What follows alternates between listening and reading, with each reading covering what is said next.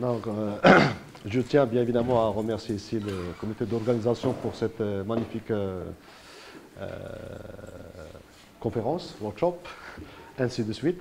Donc merci les, les- les collègues. Donc, euh, alors, donc, mon intervention aujourd'hui, ça sera orienté un petit peu des aspects techniques, mais des aspects aussi d'ordre, si vous voulez, épistémologique. Ah, D'accord. Alors, est-ce que vraiment il y a une révolution, bien évidemment, ici où l'intelligence artificielle euh, a mis en place, d'accord, une révolution dans le- la recherche scientifique? Donc, euh, c'est une question, c'est une grande question. Donc, euh, il découle plusieurs autres. Ben, Lorsqu'on parle ici de révolution, est-ce que vraiment il y a une révolution? C'est quoi cette révolution? Comment on peut définir carrément la révolution scientifique? Et est-ce que vraiment il y a, bien évidemment, ici les caractéristiques d'une révolution scientifique, d'accord, actuellement, dans la recherche scientifique Et lorsqu'on dit ici recherche scientifique, euh, ce n'est pas bien évidemment quelque chose qui est euh, dédié à tout ce qui est IT. Euh, recherche scientifique, ça veut dire c'est un champ assez large qui euh, couvre presque toutes les disciplines. D'ailleurs, la matinée, les collègues, ils ont déjà insisté sur le fait que actuellement l'intelligence artificielle, on le trouve au sein de toutes les disciplines. Il touche tout le monde, la vie quotidienne, mais aussi, bien évidemment, ici la recherche scientifique. Alors, euh, sans tarder, donc, lorsqu'on parle ici de révolution, ben, souvent, il y a plusieurs termes qui sont euh, des synonymes, entre parenthèses. D'accord, euh, c'est evolution, c'est euh, plutôt c'est transa- euh, transaction, c'est rupture, c'est. Alors, euh, vous pouvez regarder ici, ou vous pouvez faire ici de, faire une sorte de comparaison entre les deux images. Ce sont des moyens de transport, en fin de compte, d'accord, moyens de transport, mais le passage d'un moyen de transport A, c'est-à-dire l'image qui est en haut, vers un autre moyen de transport, qui est une image, une image B, ah, d'accord, c'est une sorte d'évolution, ce n'est pas seulement des moyens de transport. Alors le passage, d'accord, de l'image A vers l'image B, euh, ça, change beaucoup de choses, ça change notre vision vers le monde ça change notre culture, ça, change bien évidemment ici notre perception, d'accord, vis-à-vis bien évidemment beaucoup de choses. Ce n'est pas seulement d'accord, un changement de moyen de transport, mais c'est un changement de la manière, bien évidemment, de voyager dans le futur et dans le présent. Alors, lorsqu'on parle ici, bien évidemment, ici de cette évolution, euh, euh, il y a beaucoup de ce qu'on appelle de paradigmes qui ont, d'accord, euh, essayer de faire, bien évidemment, ici une sorte de classification, le, plus connu, plus connu dans l'état de l'art. On parle ici des industries, hein, d'accord, le 1.0 jusqu'à actuellement où il y a l'industrie 4.0 qui est euh, caractérisée entre autres, bien évidemment, ici par les objets connectés et par, euh, bien évidemment, ici ce qu'on appelle euh, l'intelligence artificielle, qui est au sein, bien évidemment, ici de cette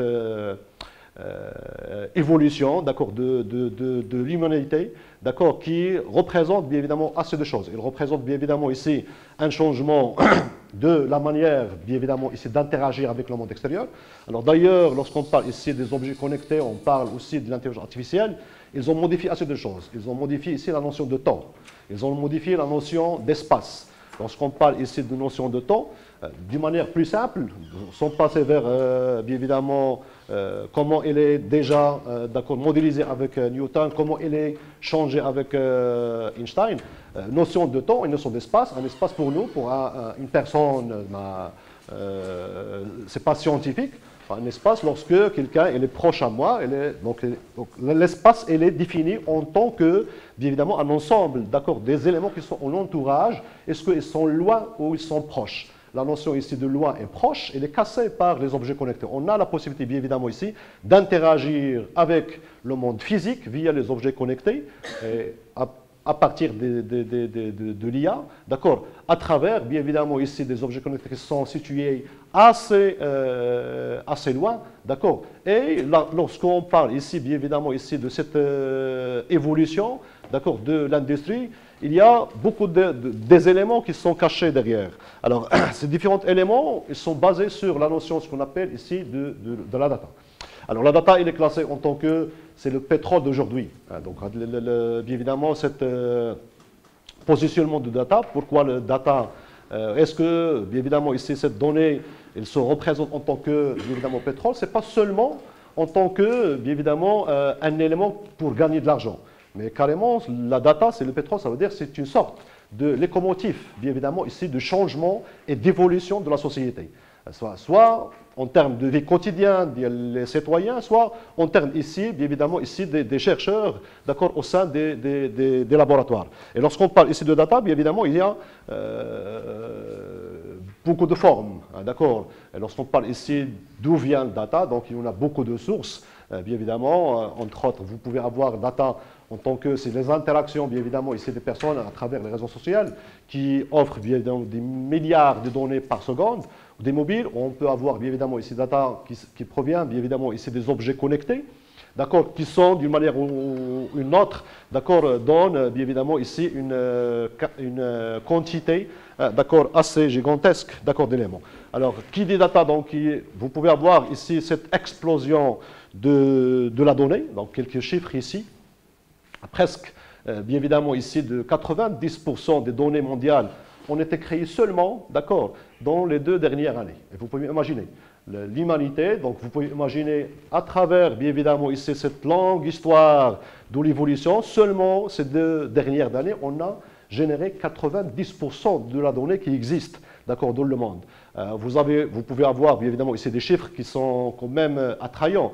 1,7 mégas bit de données sera créé chaque seconde, d'accord, par chaque personne.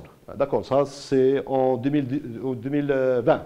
Et presque 200 milliards d'objets connectés. Et chaque objet connecté, il peut bien évidemment créer beaucoup de, données, à l'ordre de quelques gigas de données. D'accord Et d'ailleurs, euh, avec cette, explosion de, de, la donnée, d'accord, est-ce que vraiment cette donnée ça sera euh, bien évidemment une sorte de locomotive, bien évidemment, ici de, changement et d'évolution. Alors, lorsqu'on parle ici évolution, on parle ici de révolution. Le terme révolution, ou la révolution scientifique, c'est déjà fondé par euh, l'un des théoriciens, c'est un physicien américain, s'appelle Thomas Kuhn, euh, qui a mis en place, bien évidemment, une, hypothèse sur quelles sont les structures de la révolution scientifique. Donc euh, c'est un historien, d'accord, qui a essayé, bien évidemment, ici, de faire une sorte de benchmarking de toute, bien évidemment, l'évolution euh, et les mécanismes d'évolution, d'accord, de euh, la science. du Descartes, du Platon jusqu'à les années 60. Donc c'est un livre qui est apparu en 1962, 63, si je me rappelle. Donc, alors l'hypothèse ici de cette euh, de l'auteur. D'ailleurs, ça c'est parmi les, les, scientifiques qui ont intéressé par la, notion ici de l'étude de la science et l'évolution de la science. Donc le fait ici de dire une révolution, le problème qui s'impose ici, c'est quoi cette révolution? Mais Comment on va définir une sorte de révolution? Alors euh, Thomas Kuhn, lorsqu'on parle ici de révolution, on parle de ce qu'on appelle une notion d'un paradigme. Ça veut dire que c'est un changement de vision du monde. Un paradigme, lorsqu'on parle, d'ailleurs, on utilise le mot souvent. Euh, même on parle ici de paradigme orienté objet, paradigme procédural, paradigme X. Mais lorsqu'on parle ici d'un paradigme, ça veut dire que c'est un changement de la façon, d'accord, de voir le monde. Ça veut dire, et lorsqu'on parle ici de cette façon, ça veut dire que c'est une façon de poser des questions. Quelles questions on doit poser? Et comment on va résoudre cette, question ou une autre? Et donc, il s'agit ici, bien évidemment, ici d'un ensemble de règles, d'accord, euh, qui sont bien évidemment euh, euh, utiles et très utiles lorsque on parle, bien évidemment, ici, d'accord, d'un processus scientifique dans un labo, d'accord, de IT, ou un labo de physique, ou un labo de chimie, ou autre chose. Alors, d'une manière générale, la question qui doit être posée, lorsqu'on parle ici d'un laboratoire, donc la première chose, c'est qu'il faut identifier cette question de recherche. Mais quelle question de recherche? Comment on va identifier cette question de recherche? Alors, la question de recherche elle-même, elle est définie au sein, bien évidemment, d'un espace épistémologique ou à, travers un paradigme spécifique. Et donc, la notion ici de révolution, d'accord, scientifique, elle est liée à ce paradigme. Ça veut dire qu'il y a un changement de paradigme. Une fois il y a un changement de paradigme, ça veut dire qu'il y a un changement de vision, d'accord, du monde. il y a un, changement, bien évidemment, sur les questions à poser et la manière comment on doit traiter ces différentes questions. Alors, de manière générale, lorsqu'on parle ici de, de, paradigme, on parle de beaucoup de choses. Euh, d'accord, donc de manière générale, lorsqu'on parle ici de paradigme, c'est une découverte scientifique universelle qui est reconnue et qui impose, pour un temps donné bien évidemment, d'accord, et qui impose à la communauté scientifique les règles d'accord, qui doivent être bien évidemment utilisées d'accord, lorsqu'on veut faire ici de la recherche scientifique. Un paradigme d'une manière générale, il détermine ici carrément la légitimité, la légitimité bien évidemment des problèmes et aussi des solutions. C'est-à-dire, vous avez ici un problème, est-ce que c'est un vrai problème? Ça dépend du paradigme, ça dépend de notre manière de voir le monde. Et est-ce que cette solution qui doit, qui doit être proposée, elle est juste ou non? Ça dépend. D'ailleurs, euh, la première intervention de notre collègue, elle a cité ici que euh, parmi les, gens qui ont déjà, euh, c'est les fondateurs de Deep Learning, Locan et autres, à un moment donné, ils n'arrivent pas carrément à créer un workshop. Ils n'arrivent pas à publier quelque chose. Pourquoi? Parce que le paradigme qui est avant, il oblige que, donc il n'y a, il rien de, de, il ne, va pas apporter quelque chose. Donc ce n'est pas la peine de casser la tête. D'accord, pas ça. Actuellement, donc à chaque fois que vous, voulez publier, quelque chose qui est en relation, vous avez plus de chances que vous avez ici un, autre, euh, bien évidemment, solution qui est loin de, de, l'intelligence artificielle. Et ça, ce n'est pas seulement pour le domaine IT, ça veut dire le domaine informatique, mais c'est aussi pour les, domaines, euh, les autres domaines scientifiques. Alors, la proposition, bien évidemment, ici de Thomas Kuhn, lorsqu'on parle ici de révolution, il y a un cycle, d'accord? Elle parle ici de ce qu'on appelle la science normale, normal science. Les sciences normales, et ça c'est pré-science, entre parenthèses, ça veut dire il les règles elles sont déjà établies. Les règles, et donc notre vision, ou la, communauté scientifique, ils partagent la même vision. Donc vous avez ici les problèmes sont bien définis, et les solutions possibles, ils sont bien définies, les règles, elles sont bien définies, donc c'est bon. Alors qu'est-ce qui se passe? Parfois, le, la science actuelle, il ne peut pas répondre à des questions spécifiques. Et on aura des anomalies. Et la science et le paradigme, ils ne peuvent pas répondre à ces différentes questions. Soit on va l'ignorer, donc d'ailleurs c'est le, premier, bien évidemment, ce comportement qu'on trouve, mais après, avec bien évidemment ici, bien évidemment l'apparence de beaucoup d'anomalies, qu'est-ce qui se passe? Cette science, cette discipline de science, ou la science d'une manière générale, on le trouve dans une crise. Et crise, ça veut dire quoi? Ça veut dire que le paradigme actuel, il ne peut pas répondre à cette question. Ça veut dire qu'il faut revoir la question elle-même, ce n'est pas la solution. Et revoir la question, ça revient à dire ici, il, faut revoir la manière dans laquelle tu as traité, bien évidemment, le sujet en question. Ça veut dire il faut revoir, bien évidemment, votre manière de voir le monde. Et donc ça, ça, se, fait, ça se fait, bien évidemment, ici, ce qu'on appelle la période, ici, d'accord, de euh, compétition entre beaucoup de paradigmes, d'accord euh, Et à travers ça, il y a, bien évidemment, l'apparition d'un nouveau paradigme qui a bien évidemment la capacité, d'accord, où il donne bien évidemment plus de chances de répondre à des questions qui, qui ont créé la crise. On est en tout cas dans une phase où il y a l'apparition de euh, ce nouveau euh, paradigme. Alors, à le cycle de, de, de bien évidemment, il y a un, autre euh, chercheur euh, ça, c'est Tom euh, Gray. Ça, c'est lui qui a eu le, ce qu'on appelle le prix de Tunnel avant les trois de Deep en 1998. Alors, il a proposé ici ce qu'on appelle, on est actuellement dans la phase de la quatrième, le quatrième paradigme. Déjà, il y a un livre qui est déjà publié, vous le trouvez dans le, ce qu'on appelle le site de Microsoft. Ça, ça, fait partie des chercheurs de Microsoft actuellement. Euh, c'est le Fort Paradigm.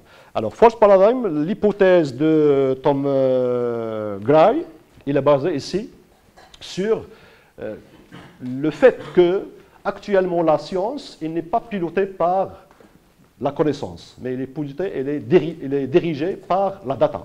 Ça veut dire à l'intérieur de la data, et la data elle-même, c'est lui qui va conduire la science. Et regardez ici, lorsque je dis ici la science, je dis c'est le chimie, je dis le physique, c'est la science dans le sens le plus large du mot. La sociologie aussi, et autres. Et du coup, euh, il, a, il, a, inventé ce qu'on appelle un, concept, ça s'appelle e-science. E-Science, ça veut dire que, bien évidemment, il est basé sur que cette, période où les trois paradigmes, à, l'époque, il y avait bien évidemment ici un paradigme qui est basé sur tout ce qui est empirical, ça veut dire euh, empirique, ça veut dire qu'il y a des observations, euh, d'accord, on connaît bien, bien évidemment, les travaux de Kepler, avec l'observation, la récolte des données. Après, il y a bien évidemment ici la proposition des différentes euh, théories, d'accord, ou des lois. D'accord Après, il y a bien évidemment ici l'apparition de ce qu'on appelle euh, la simulation. Et la simulation à l'époque, des années 60, des années 50, 60, 70, jusqu'à 80, jusqu'à carrément 90, c'est un moyen de communication. C'est une manière d'expression pour les scientifiques. Euh, si vous voulez publier quelque chose, il fallait faire la simulation. Et la simulation, elle est basée sur, bien évidemment, sur des ordinateurs. D'accord L'ordinateur et la simulation, c'est quelque chose qui est fondamental pour faire la recherche. Actuellement, avec l'explosion de data, avec l'apparition, bien évidemment, ici, de l'intelligence artificielle, la data, elle va piloter carrément la science. Alors, piloter la science, ça veut dire quoi ça? Ça veut dire que la proposition elle-même, elle est à l'intérieur. Ça veut dire, lorsqu'on parle ici, on va revenir à cette, cette, cette partie après, euh, une approche scientifique d'une manière générale. Vous avez ici, il y a des scientifiques où il y a de la connaissance, il y a des observations, il y a des hypothèses, il faut l'expérimentation. Après, il faut générer et généraliser, bien évidemment, ou là, trouver des lois. Et ce, cycle il se répète. Maintenant, où se trouve la proposition? La proposition, elle est déjà, à, à l'époque, elle est proposée pas carrément par les scientifiques. À la base de quoi? À la base des connaissances. Actuellement, ce n'est pas la peine. La connaissance ou cette proposition, elle est déjà à l'intérieur de la data. Comment on peut l'exploiter? Comment on peut tirer des propositions sur, bien évidemment, des problématiques spécifiques? Et carrément, la détection ici de la, problématique, on le trouve aussi à l'intérieur de la data. D'accord? Et de cette manière, bien évidemment, ici, la donnée, elle peut, d'accord, diriger, selon, bien évidemment, ici, euh, cette euh, hypothèse de e-science, de diriger euh, la science. Alors, euh, bien évidemment, dans le cas de, lorsqu'on parle ici de, de, data, il y en a actuellement une masse assez importante. Il y a bien évidemment ici interdisciplinarité des données on utilise des informaticiens, on utilise ici des données des physiciens. Il y en a des physiciens qui utilisent bien évidemment des données des chimistes et ainsi de suite. Ça veut dire qu'il y a une sorte bien évidemment des data qui sont très hétérogènes, mais on va utiliser, d'accord, toutes les scientifiques, ils utilisent ces différentes euh, données à travers bien évidemment beaucoup de choses. Entre autres, vous avez ici Bien évidemment, la rapidité ici de la production de data, la diversité de data, la, forme de data, elle est totalement euh, différente et ainsi de suite. Alors, d'une manière générale, on peut avoir quelques exemples euh, pour voir. Euh, si on prend ici, par exemple, la génomique, d'accord, donc avant de 10 ans, hein, d'accord, plus de 10 ans d'accord, de, de traitement, plus de 3 milliards de dollars pour réaliser le premier séquentiel d'accord, de humains actuellement, d'accord, avec la donnée, avec l'apparition bien évidemment de l'intelligence artificielle, en particulier c'est deep learning, ah, d'accord, il est possible ici de le faire bien évidemment en quelques jours et avec un coût de 1000 à peu près dollars. Vous pouvez encore remarquer ici la différence. La différence entre, ce n'est pas question seulement de capacité de traitement, mais il y a aussi autre chose, on va le voir. Alors, euh, en astrophysique, il y a un avancement assez important. Euh, vous connaissez cette image. Ça, c'est première preuve, d'accord, de la théorie d'Einstein sur les, trous noirs. Et donc, ça, ça se fait à travers la donnée. On a bien évidemment ici récolte, bien évidemment ici des, des données, et des pétadonnées, pétaoctets de données, qui permettent ici de donner preuve, bien évidemment, d'ailleurs c'est la première fois dans l'histoire où il y a une image d'un trou noir dans le, le terre. Et toujours dans l'astronomie, il y a un projet, c'est le, projet LST. Donc il s'agit ici de tout simplement ici de ce qu'on appelle des télescopes qui balayent la couverture assez large de, de l'espace, donc presque avec des caméras de 3200 mégabits et il permet ici de récolter ici 30 téraoctets de ce qu'on appelle d'images. Et qu'est-ce qui se passe? Il indique aux chercheurs où ils doivent regarder. Et ça, c'est quelque chose qui est très important. Où ils doivent regarder, ça veut dire que cet, emplacement où il y a d'accord, des anomalies, où il y a des particularités, il faut aller vers ça. Ça veut dire à travers ça, la data, il va orienter, bien évidemment, ici carrément, d'accord, la direction de recherche pour les astronomes. Alors, euh, en médecine, aussi, on trouve ici, d'accord, des avancées assez, assez importantes. d'accord, les trois grandes disciplines, soit les maladies pulmonaires, soit les, cardiovasculaires ou autres, vous avez ici une expertise bien évidemment établie, vous avez ici un ensemble de data, et on a des hypothèses, et après, il y a ici, bien évidemment, les tests statistiques, ça veut dire tout ce qui est machine learning ou deep learning ou autre. D'accord Après, il y a ici une conclusion et on va réaffiner ici l'hypothèse. Ça veut dire il faut d'accord, corriger l'hypothèse d'une manière, regardez ici l'hypothèse, elle vient d'accord, à travers bien évidemment ici la donnée. D'ailleurs, on le trouve ici dans toutes les grandes bien évidemment disciplines de, la médecine. Et ça veut dire que l'hypothèse elle-même, ce n'est pas proposée par d'accord, les chercheurs. Elle est carrément elle est à l'intérieur de, de, de, la data. Et ça, c'est une rupture. Et c'est une rupture, euh, de ce qu'on appelle de, la méthode classique de la recherche scientifique. Alors, en, chimie, donc d'ailleurs, ça c'est parmi les articles qui sont déjà publiés dans euh, le journal Nature, d'accord, à travers des pionniers, ils ont arrivé, bien évidemment, d'accord, à détecter ici, d'accord, avec un seul, l'élément de base, d'accord, les compositions, d'accord, chimiques, d'accord, d'un composant. Alors, euh, le problème que ça pose ici, c'est un problème de, données. Donc, la donnée, mais la donnée, lorsqu'on va récolter la donnée, vous avez ici des données de qualité A ou de qualité B, ça veut dire de grande qualité ou de basse qualité. On parle ici de... si vous avez ici la donnée où vous n'avez pas ici une qualité euh, performante de données, ça veut dire ce que vous aurez, c'est tout simplement, c'est un modèle, d'accord, qui hérite la même, même degré de qualité de ce qu'on appelle de, la donnée. Et donc on dit ici garbage in, c'est garbage out. Ça veut dire si vous avez ici des mauvaises qualités, vous aurez ici un modèle qui est d'accord de mauvaise euh, performance. Hein. Alors comment on peut traiter la donnée? Donc si la donnée elle est là, donc il contient de l'information, mais la donnée brute, ça ne sert à rien. Il faut tirer quand même cette hypothèse, il faut tirer de la connaissance qui se trouve ce n'est pas dans la connaissance de théoriciens et des chercheurs, c'est à l'intérieur de la donnée. Donc ici, le, positionnement ici, bien évidemment, ici de ce qu'on appelle euh, l'intelligence euh, artificielle, donc elle est là, et ça c'est parmi les points forts, carrément, ici de, l'IA aujourd'hui. Alors, euh, IA, sans tarder, donc, c'est tout simplement comment on peut rendre les machines plus ou moins intelligentes. D'accord? Donc, il y en a beaucoup de disciplines, donc, y compris ici ce qu'on appelle bien évidemment l'apprentissage automatique ou machine learning, ou carrément ici l'apprentissage profond avec l'utilisation ici de deep learning. Hein, d'accord, donc on va essayer rapidement de, faire une description simple. Alors, euh, lorsqu'on parle ici de machine learning, ça aussi c'est une euh, transition dans le monde IT. Euh, d'ailleurs, dans le cas de lorsqu'on veut développer ici une solution, ou automatiser une solution, qu'est-ce qui se passe? D'une manière traditionnelle vous avez ici un ensemble de données en entrée, vous devez écrire un programme, d'accord, vous-même, en tant qu'un ingénieur ou, autre, d'accord, et vous avez ici la sortie, hein, donc d'une manière générale. Alors, euh, machine learning, il a bouleversé les choses. Ça veut dire, vous n'avez pas ici, bien évidemment, les règles. Non, on veut trouver les règles. donc, vous avez ici les données, vous avez l'output. Et qu'est-ce qu'il va générer? Il va générer un programme. Ça veut dire, le machine learning, il permet ici en output, dans la sortie, il va créer un programme. On l'appelle programme, on l'appelle algorithme, on l'appelle modèle, ce que vous voulez. Un programme qui va faire ici des tâches, bien évidemment, ici de classification ou des tâches de, prédiction ou autres tâches. Mais d'une manière générale, comme vous pouvez remarquer ici, il y a d'accord une, rupture, bien évidemment, pour la programmation. D'ailleurs, actuellement, euh, je donne un exemple d'utilisation. Euh, GitHub, il a lancé une compétition sur les moteurs de recherche.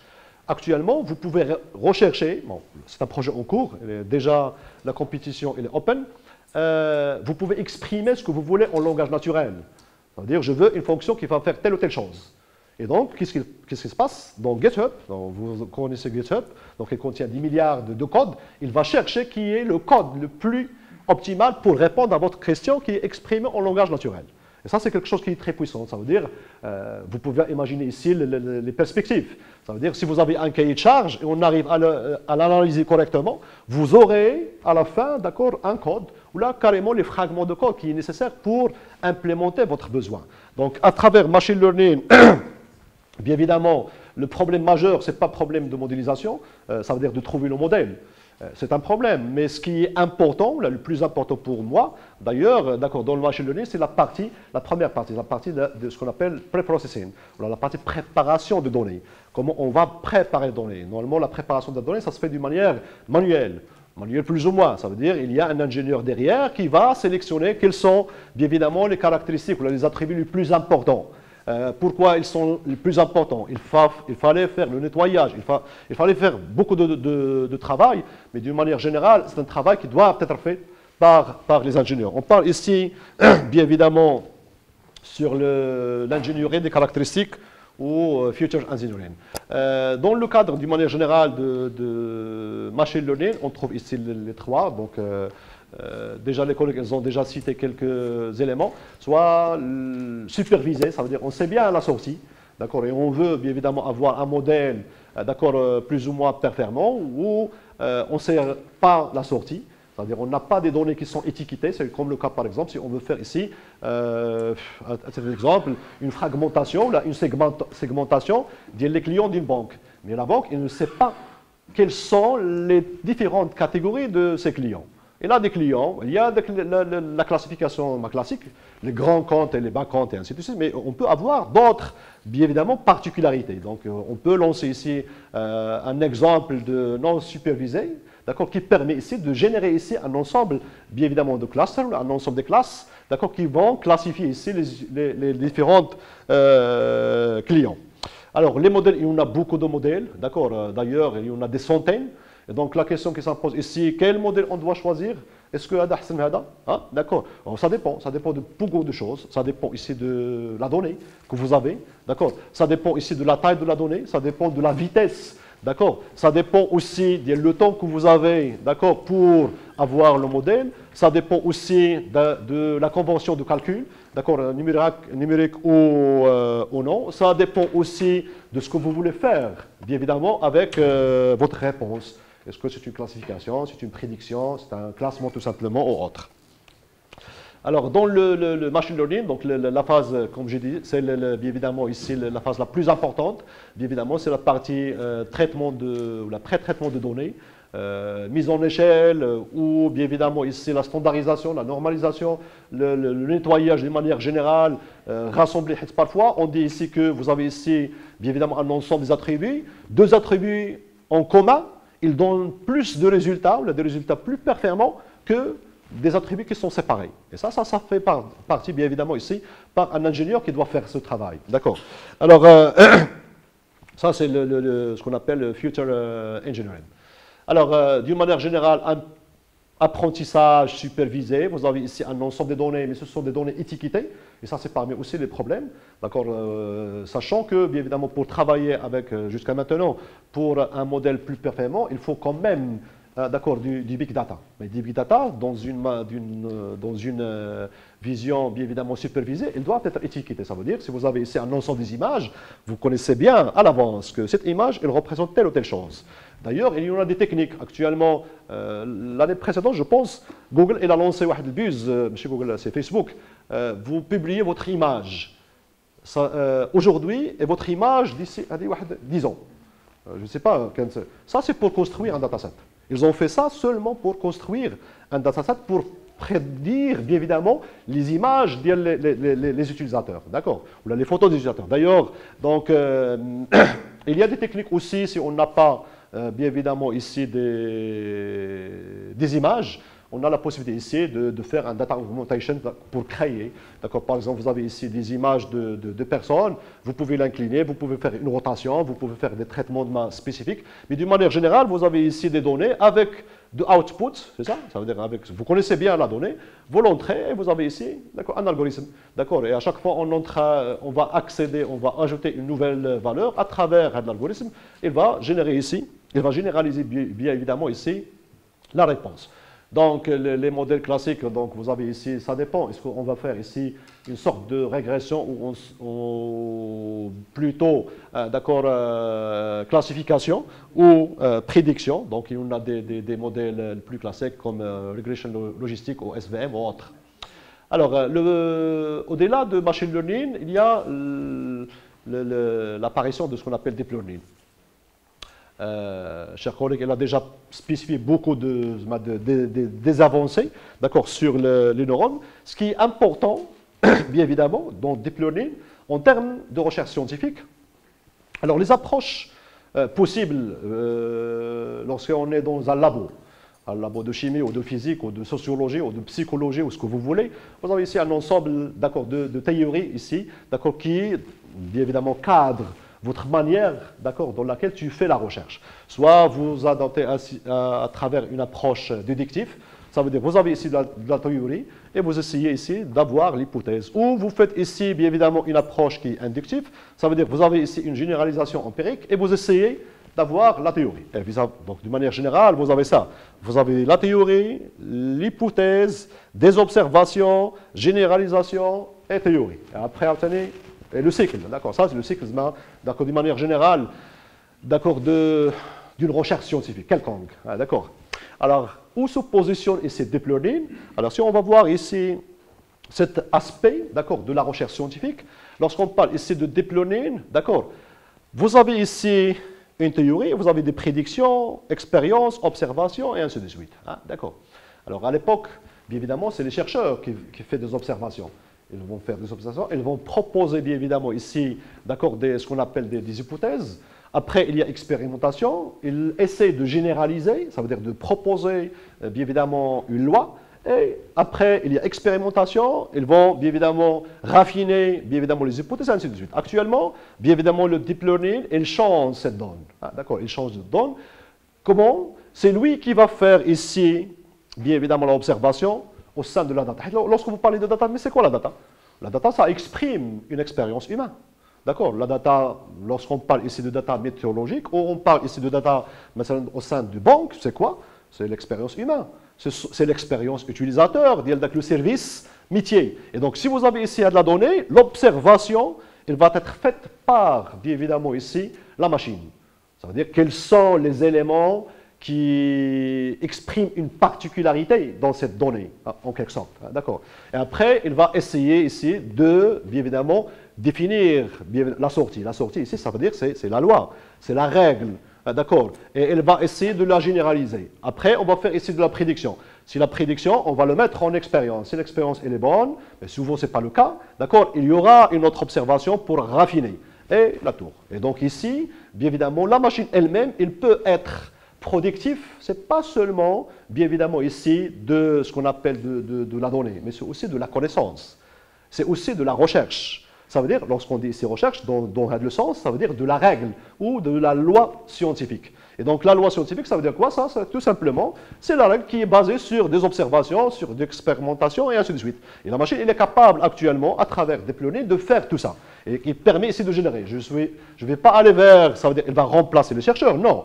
Mais ici, elle assiste, bien évidemment, ici, l'expertise scientifique, d'accord, dans la construction, bien évidemment, des modèles. Ça veut dire le modèle elle-même, actuellement, elle est soutenue, elle est pilotée par, bien évidemment, la data, et le deep il permet ici de donner ici des très bons résultats lorsqu'on veut, bien évidemment, ici faire, sachant que euh, je ne sais pas combien, bien évidemment, la quantité de datasets dit Kepler, mais c'est sûr et certain, c'est quelque chose qui est assez, assez petite. Et a arrivé à, à, inventer, bien évidemment, des lois. Actuellement, vous pouvez imaginer si on arrive à récolter ici une masse assez importante ce qui se passe dans l'espace, on a la possibilité ici de générer ici des lois qui sont plus sophistiquées, plus évoluées. Euh, ça ne va pas euh, répondre à toute la question, mais c'est un avancement. Euh, d'ailleurs, la science, par définition, il, permet ici de changer une erreur par une erreur moins importante. Ah, d'accord, mais c'est toujours, vous pouvez remarquer ici, si vous voulez faire ici la comparaison entre, bien évidemment, Newton et Einstein, ça n'a rien à voir. Euh, si on adapte bien évidemment ici Einstein, on dit ici, c'est n'importe quoi cette, cette, loi. Mais c'est vraiment une évolution dans l'histoire. D'ailleurs, aujourd'hui, lorsqu'on parle ici, bien évidemment, ici de l'humanité, il est au cœur de ce nouveau paradigme. Ça veut dire qu'il y a un changement. D'ailleurs, euh, l'un des collègues, il a, il a, cité ici le mot, actuellement, l'intelligence artificielle, c'est la mode. Mais c'est plus que la mode. C'est une obligation aujourd'hui. Aujourd'hui, on est dans un, nouveau euh, bien évidemment paradigme. Et d'ailleurs, tous les chercheurs, vous pouvez faire un peu de recherche sur, euh, bien évidemment, des disciplines qui sont loin de l'informatique. médecine, vous accédez vers euh, Scopus ou Web of Science et vous faites ici médecine et vous pouvez remarquer, bien évidemment, parmi les, mots les plus utilisés dans les titres des articles scientifiques qui concernent la médecine ou chimie carrément, vous pouvez avoir IA, diplonine, ça veut dire elle tire le taux. J'invite tout le monde, surtout le, livre de Thomas Kuhn, La structure des révolutions, de la révolution scientifique, il décrit cette, démarche, ça veut dire cette évolution de recherche et aussi, bien évidemment, de lutte entre le paradigme, l'ancien paradigme et les nouveaux d'accord, paradigmes avant l'établissement d'un paradigme qui, va ajuster. On n'est pas, bien évidemment, on est dans la phase, la, première phase, bien évidemment, de ce nouveau paradigme, le, quatrième paradigme, selon, bien évidemment, ici l'hypothèse de, Tom Craig, qui nécessite, bien évidemment, ici cette intégration de, de data d'accord, et de l'intelligence artificielle au sein de la recherche scientifique dans toutes les disciplines. D'ailleurs, même en sociologie actuellement, hein, d'accord, on se base, euh, d'ailleurs, euh, l'un de, mes étudiants, il a travaillé avec une compagnie, donc pour tout simplement pour euh, l'observation de comportement des législateurs. D'ailleurs, les, techniques les plus classiques, il faut faire des questionnaires, il faut aller vers le terrain et faire ça. Mais j'ai déjà des commentaires dans les sites j'ai, au lieu, combien de questionnaires 1000, 2000, 4000, 5000, 10 000, c'est quand même 10 000 dans l'ordre sociologique, c'est quelque chose qui est très très important.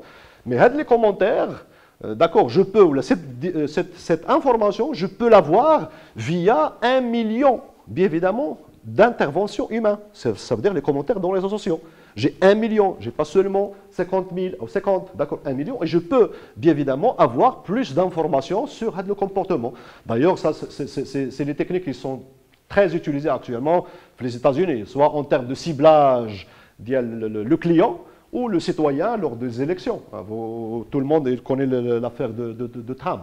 Alors, euh, alors d'une manière générale, euh, lorsqu'on parle ici de cette, euh, le déployer, ce n'est pas tout simplement technique, mais c'est au-delà de ça. D'accord? Il y a la, partie technique qui est déjà cachée, ça veut dire les réseaux de neurones et ainsi de suite. Alors, euh, d'ailleurs, la notion de, réseau de neurones, comment il est né? Ça veut dire le formalisme d'aller vers réseau de neurones. Ah, d'ailleurs, l'un de ce qu'on appelle des travaux euh, il est inspiré de biologie, hein, d'accord, comme euh, a mentionné la matinée. Euh, alors, qu'est-ce qu'ils ont fait? Ils ont, bien évidemment, ici coupé, bien évidemment, le, neurone, en quelque le, neurone entre les yeux, d'accord, et, bien évidemment, la zone qui est responsable, bien évidemment, au traitement, bien évidemment, de tout ce qui est visuel. Et ils ont recablé ça, d'accord, l'entrée rétinaire d'un euh, furet d'ailleurs, dans le cortex auditif. Ça veut dire, réellement, les yeux ne, ne, mettent pas les signaux vers la zone qui est responsable à la vue. Et bien évidemment, la, première fois, le furet il a fait l'obstacle.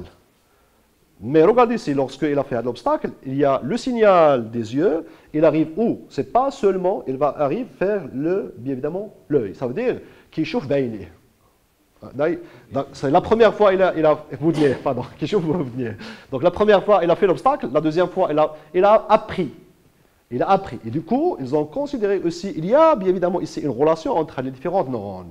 Euh, alors après, ils ont fait la même chose. Bien évidemment, euh, ça veut dire une sorte de recablage, l'entrée rétinière. Euh, ça d'ailleurs, dans l'autre expérience d'un hamster, dont le cortex ça potentiel. Ça veut dire il va voir avec le sens d'y toucher. Une fois il touche, bien évidemment, c'est pas une fois il touche. Une fois il voit, il y a des signaux. Ah, D'accord, c'est comme il a touché quelque chose. Il arrive à voir. D'autres expériences qui sont faites sur les singes, ils ont carrément, ils ont coupé, bien évidemment, les, muscles. Ça veut dire d'ailleurs avec le singe, il n'arrive pas à, il a, coupé. Et ils ont recablé, bien évidemment, ici des neurones. Après, il arrive à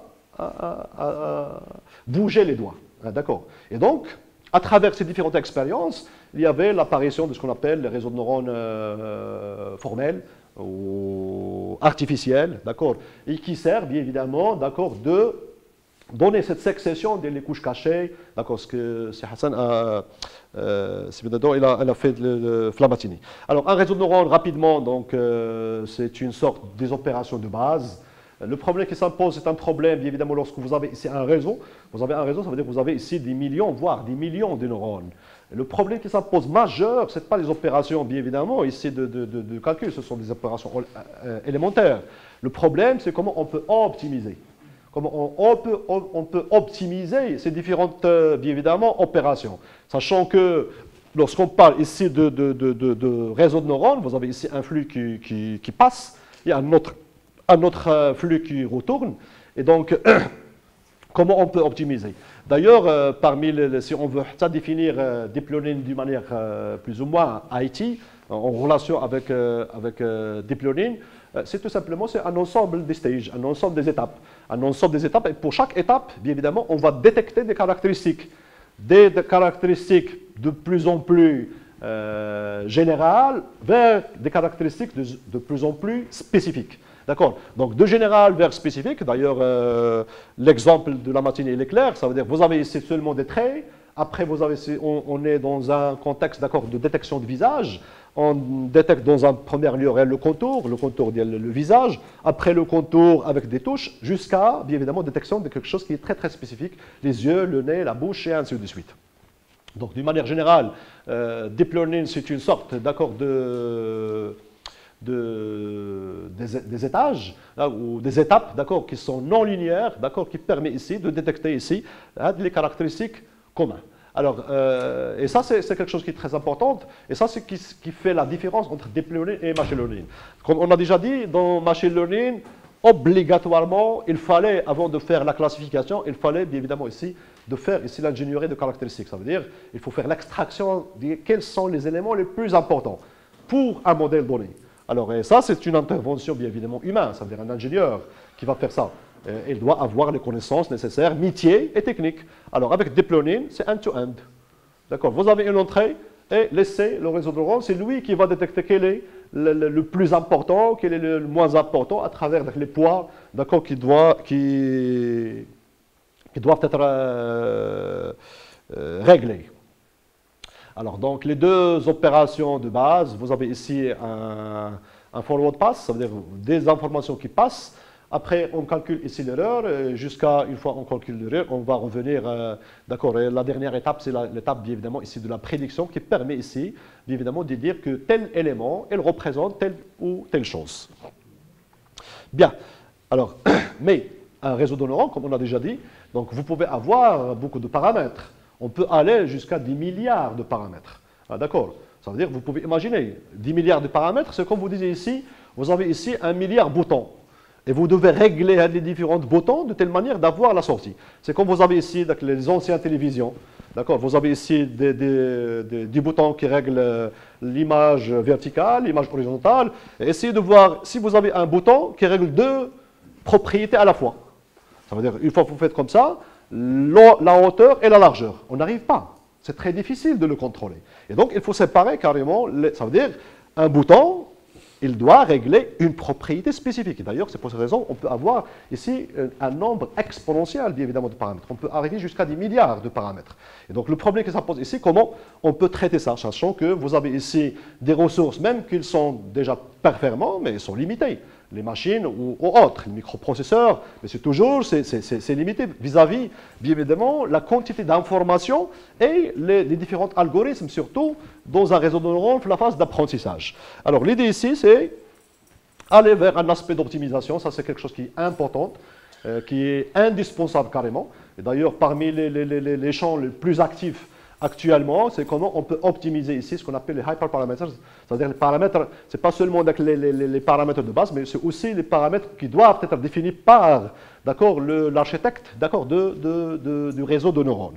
Euh, il y en a beaucoup d'éléments, et d'ailleurs, euh, si on veut prendre, prendre, bien évidemment, au sérieux les, réseaux de neurones, on doit s'intéresser, bien évidemment, ici sur euh, cet aspect, aspect d'optimisation, soit en termes, bien évidemment, ici de le taux d'apprentissage, comment on va apprendre, ou le temps, bien évidemment, nécessaire pour faire l'apprentissage, ou autre type de, de, paramètres.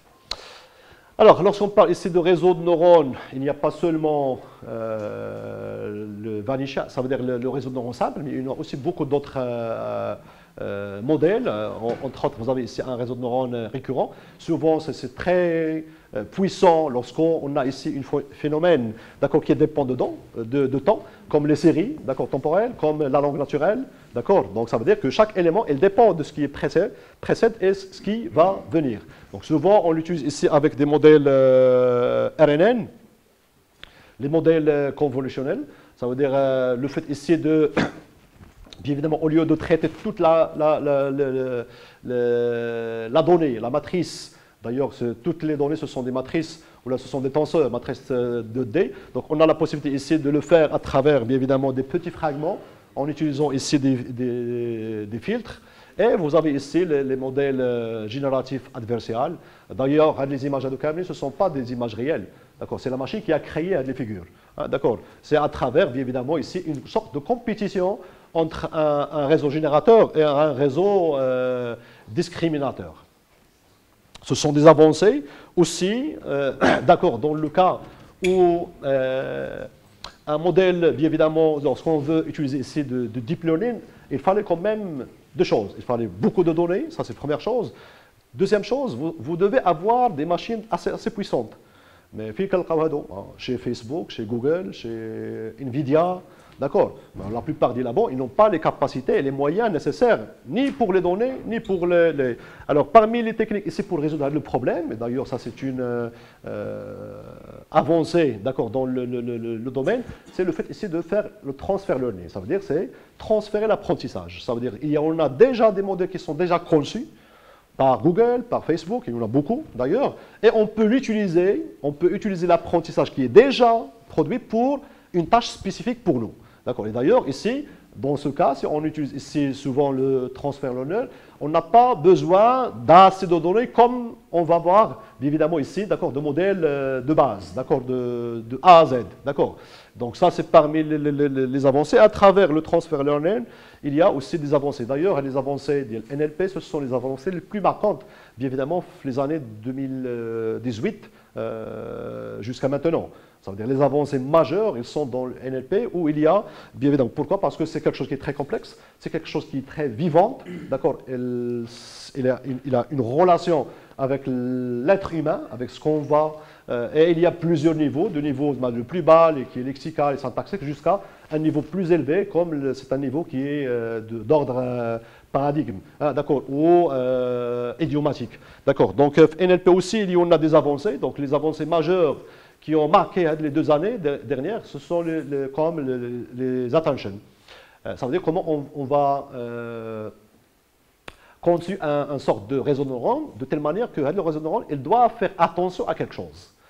C'est un, ensemble des opérations, en, tout cas, d'accord, euh, élémentaires, mais lorsqu'on fournit ici quelque chose, soit du texte, soit des images, soit autre, on doit bien évidemment indiquer d'une manière ou d'une autre, il y a le formalisme mathématique derrière, à, au réseau de neurones de faire attention à quelque chose. Et d'ailleurs, ça c'est carrément, lorsque vous essayez de voir ça, donc dans cette image, il y en a beaucoup de choses. Ah, d'accord, il y a des arbres, il y a de, euh, un garçon, une euh, maman, euh, de, beaucoup, beaucoup de choses. Mais ce qui est important ici, de l'image d'ailleurs, pour euh, la plupart, bien évidemment, ici de personnes, que cette maman, d'accord, elle lance ici un frisbee, d'accord. Et de même ici, ici aussi, il y en a beaucoup de choses, mais ce qui est plus important, c'est voir le plaque, d'accord. Donc, comment on va, bien évidemment, dire au réseau de neurones de faire attention? Donc d'ailleurs, ça c'est le principe attention. donc il y a le formalisme. Donc d'une manière générale, c'est quoi? C'est un ensemble des opérations aussi. Un ensemble des opérations qui permet ici, bien évidemment, ici dans un réseau, souvent un réseau récurrent, qui permet ici d'indiquer, d'accord, avec des poids, d'accord, au réseau de neurones de faire attention à quelque chose. D'accord, ça veut dire, soit ce sont des données en fin de compte, d'accord, au cycle de, de, de, de la phase d'apprentissage. Bien, euh, d'ailleurs, ça c'est le cas, par exemple, un exemple de, la traduction. Hein, d'accord On va faire ici la traduction d'une langue à une autre, sachant qu'on peut avoir un mot, ça va être euh, traduit avec du dizaine de mots. Ah, d'accord Ou quelques, quelques mots. Alors, euh, de même en termes scientifiques, bon, d'ailleurs, ce sont les résultats de la semaine précédente, c'est le nombre de publications qui utilise deep learning. Ah, D'accord. Et vous pouvez imaginer ici que vraiment c'est quelque chose actuellement, elle est exponentielle. D'ailleurs, euh, en 2019, hein, elle a cartonné, donc euh, presque entre 30 000, hein, d'accord. Même aussi en 2020, on est au début et on est là, hein, d'accord. Et d'ailleurs, même nombre de publications, machine learning, c'est aussi, il garde sa place. D'accord Donc ça, c'est une sorte de comparaison. Et ça, c'est de Science Direct seulement. C'est les ressources euh, d'accord, euh, de Science Direct. Et on peut avoir la même chose dans Scopus, dans Web of Science ou autre chose. Bien. Alors, euh, en termes argent aussi, ça, ça, ça, ça, motive aussi, bien évidemment, ici l'économie. La plupart des, compagnies, ils intègrent, bien évidemment, ici, bien évidemment, le revenu, d'accord, de l'intelligence artificielle dans le marché mondial. Ah, d'accord, vous pouvez avoir ici, bien évidemment, ici, d'accord, un pente qui est vraiment exponentielle, d'accord, en termes, bien évidemment, de revenus, en termes aussi d'adoption, bien évidemment, ici, d'accord, de quelques AI spécifiques pour des cas, euh, bien évidemment, très spécifiques. Hein, d'accord, comme le cas, par exemple, ici, d'accord, des, des emails marketing, d'accord, hein, d'accord, donc euh, vous pouvez avoir aussi all repent ou là current AI adopts. D'accord Donc ça veut dire soit il adopte carrément, c'est du AI, il n'y a rien d'autre AI, ou là ils sont en cours, bien évidemment, d'accord, d'adoption de, l'intelligence artificielle dans ce secteur euh, économique. Hein. Vous pouvez remarquer ici, détection de fraude, bien évidemment. Donc presque 51%, il adopte à full. Bien, euh, mot de fin, donc le succès pour nous en tant que communauté scientifique, donc euh, euh, à mon avis, il passe par beaucoup de, de, de, de, de cas, interdisciplinarité entre les différents éléments. Lorsqu'on parle ici de, de, machine learning, deep learning, intelligence artificielle, ça, ça, concerne bien évidemment un domaine spécifique, physique, chimie, sociologie, autre. D'accord, l'accélération et la démocratisation, bien évidemment, ici de la recherche scientifique. Ça, c'est aussi parmi les, les clés. L'ouverture de données. Sans données, on ne peut pas faire quelque chose. D'accord? Et donc, l'open data, ça devient quelque chose majeur et on doit lutter en tant que scientifique pour avoir, bien évidemment, ici de l'open data et la collaboration entre chercheurs, entre universités, entre monde. Et merci, je m'excuse pour le retard. Merci.